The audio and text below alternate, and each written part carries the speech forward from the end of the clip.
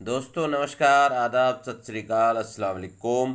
Doctor Zakir Hussain memorial senior secondary school में national children welfare society द्वारा stress free educational world कार्यक्रम का आयोजन किया गया, जिसमें mental health, stress workload, team management और सेफ्टी विषय पर विस्तार पूर्वक चर्चा की गई। स्कूल के प्रिंसिपल डॉक्टर मोहम्मद मारूफ खान की ओर से शानदार व्यवस्था की गई थी।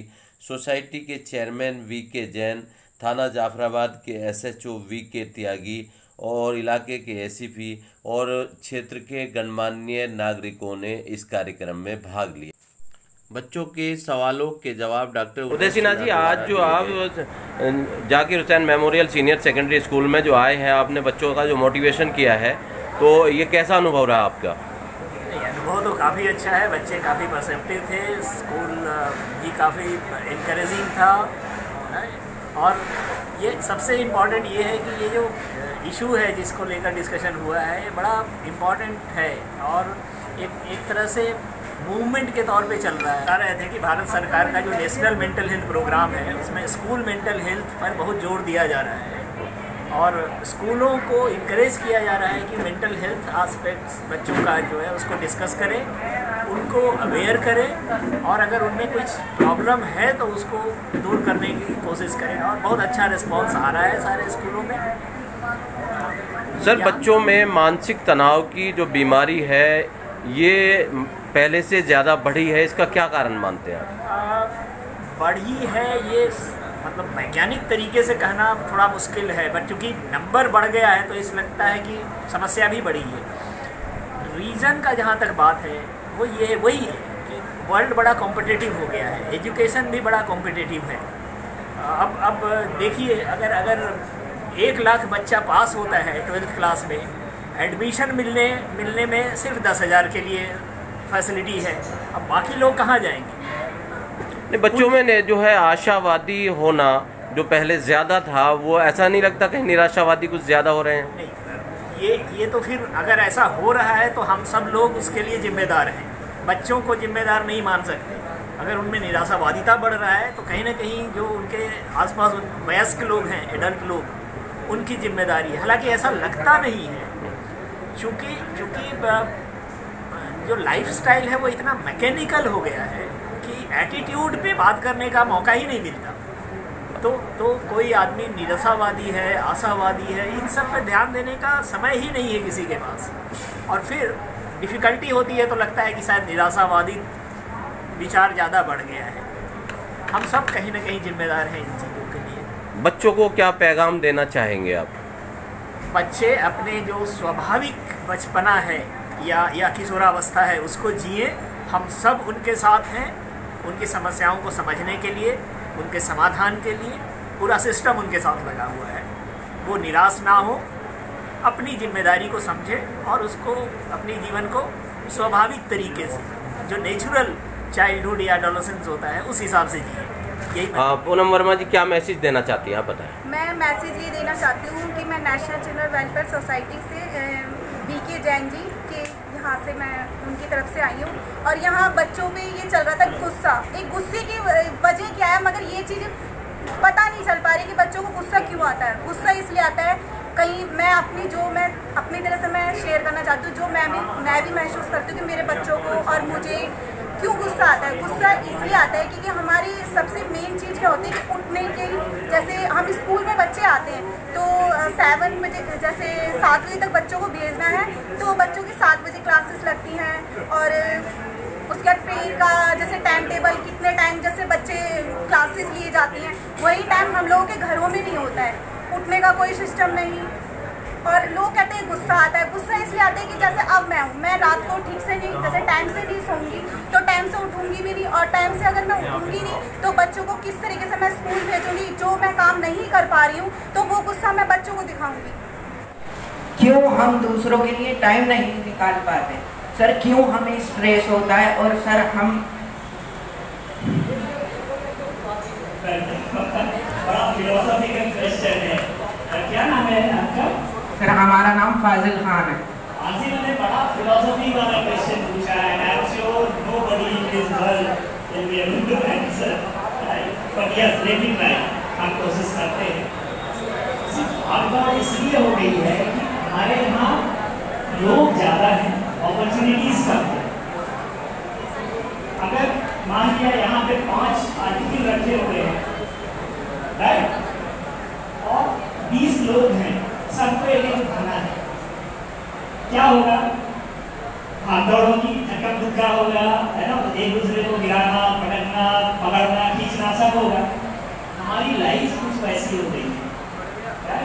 और अगर इसके धन में जाएँगे तो कहीं ना कहीं जो जनसंख्या में वृद्धि है तो अपॉर्चुनिटीज़ को कम कर दिया है। अम्बिशस सब लोग हो गए everybody wants to I reach here और वहाँ पर पहुँचने का जो जो चीज़ है, वो कम है। तो हम भागेंगे ना उसके लिए। जितना जल्दी से जल्दी वहाँ पहुँचे। ताकि मेरे को मिले। आई थिंक आई थिंक इससे ज़्यादा सिंपलिस्टिक आंसर और कुछ नहीं हो सकता। अबू तालिब। अबू खाली आप बताओ कि क्या करते हो जब अपने आप को फेस करते हो तो क्या करते हो? सर सर खुश होते हैं इस चीज़ से कि हम मतलब इस लेवल पर हैं कि हम स्टडी कर रहे हैं और बेहतर हैं। और दूसरों को जब आप प्रेस करते हो तो क्या बोलते हो? कोई छोटा बच्चा है कोई अच्छा काम किया अगर वो उसको क्या बोलते हो? सर के आगे भी ऐसी ही करना है और अपने अपना फैमिली का और, और लोगों का नाम रोशन करना? है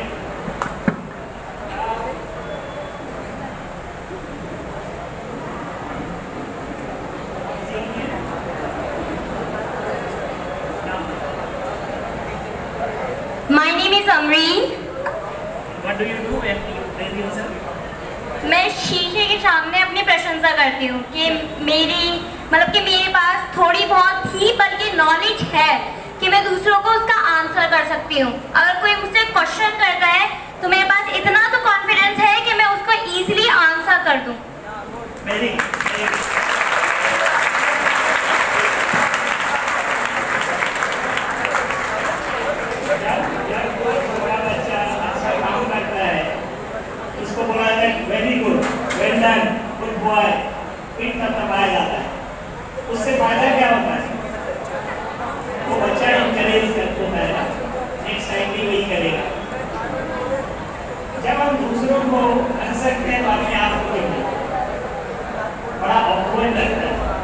अगर आपको, आपके क्लास के बोर्ड पे 10 सेंटीमीटर का एक लाइन खींच दिया गया।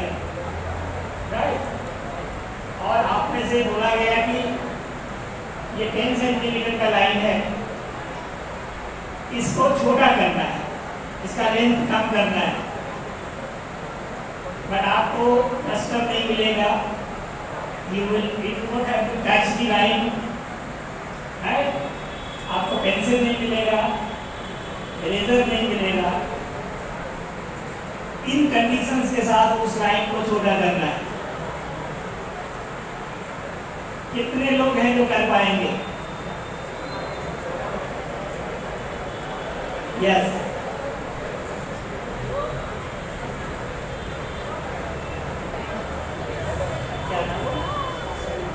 समीर ने कहा है कि ये कर देंगे उन कंडीशंस के साथ। राइट अब कैसे करेंगे ये सभी बताएँगे। सर उसके बराबर में एक बड़ी लाइन खींच देंगे।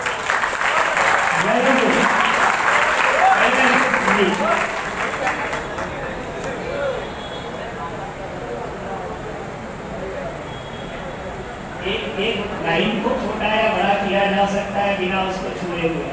और वही मैसेज देता है सेल्फ रिवॉर्ड अपने आप को रिवॉर्ड करके अपने अंदर इतनी अच्छाइयाँ भर देंगे कि जो मेरे, मेरा जो निगेटिव पार्ट है, वो अपने आप छोटा हो जाएगा मौना हो जाएगा।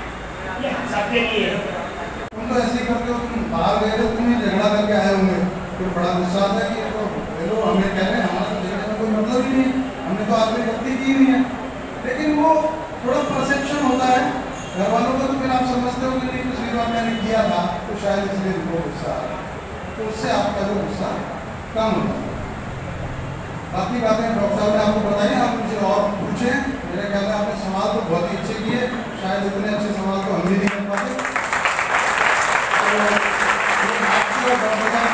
आप आज कोई दसवीं में है, कोई नौवीं में है, ग्यारहवीं में है, बारहवीं में है मैं यही कहूँगा, तू थक के ना बैठ, उड़ान अभी बाकी है। तू थक के ना बैठ, उड़ान अभी बाकी है, ज़मीन ना सही, आसमान अभी बाकी मतलब जीवन में इतनी तरक्की करो, और वो तरक्की कैसे होगी? तरक्की तब होगी जब तुम अपने को जान जाओगे। अपने को जानना, आज की जितनी बात हमने की, वो सिर्फ़ अपने को जानने को लेकर है। और मैं ज़्यादा लंबी बात नहीं करूँगा, क्योंकि ऊपर से कुछ कुछ होता हुआ दिख रहा है। आपको भी दिख रहा होगा। एक बार जोरदार अपने जज्बे के लिए ताली बजाओ? और जितनी बातें हुई हैं अभी तक, उन्हें सिर्फ़ इन दस बारह पंक्तियों में समेट कर रखना हूँ। डॉक्टर साहब ने बताई, जैन साहब ने बताई, मेरे बड़े भाई और मेरे प्रेरणा स्रोत डॉक्टर मारूफ खान जी ने बताई कि उलझने हैं बहुत, उलझने हैं बहुत, मगर सुलझा लिया करता हूँ और फ़ोटो खिंचवाते हुए मैं बस मुस्कुराता हूँ। है? पालने में पड़ा हुआ है। अभी कोई स्कूल, कॉलेज नहीं है, अभी कोई नौकरी की चिंता नहीं है, कोई बिज़नेस का चक्कर नहीं है, फिर भी उसको टेंशन है। आप देखिए, बच्चा जो है, उसको किसी भी चीज़ की अगर ज़रूरत होती है तो सबसे पहले वो रोता है। रोता क्यों है? क्योंकि उसके पास वोकल कॉर्ड नहीं है। वो अपनी बात बोल नहीं पाता। आप सोचिए, अगर किसी व्यक्ति को अपनी ज़रूरतें पूरी करने के लिए रोना पड़े तो कितनी बड़ी टेंशन में होगा और वो क्या सोचता होगा अपने अचेतन मन में? कि जिस दिन मेरे पास वोकल कॉर्ड आ जाएगा, मैं अपनी प्रॉब्लम से बाहर आ जाऊँगा। वोकल कॉर्ड आ गया इस समय के बाद। प्रॉब्लम से बाहर आ गया? नहीं। एक नई प्रॉब्लम वो बच्चा अपने आप को हाउस अरेस्ट समझता है, क्योंकि घर वाले नौकरी पर चले गए, बड़ा भाई बहन स्कूल कॉलेज में चले गए, वो घर में रह गया कहता सब घूमने जाते मुझे यहाँ पे छोड़ दिया।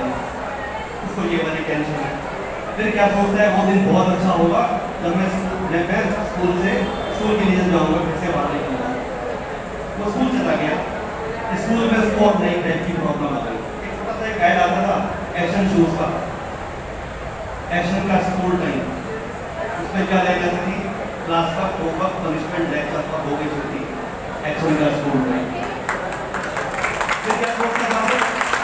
मैं स्कूल से बाहर आ जाऊँगा तो कॉलेज में बहुत अच्छा हो जाएगा। और क्या ऐसा होता है? नहीं होता। कॉलेज में पहुँच गया तो वहाँ पर रैगिंग भी है। वहाँ पर गैंग वार भी शुरू हो जाती है।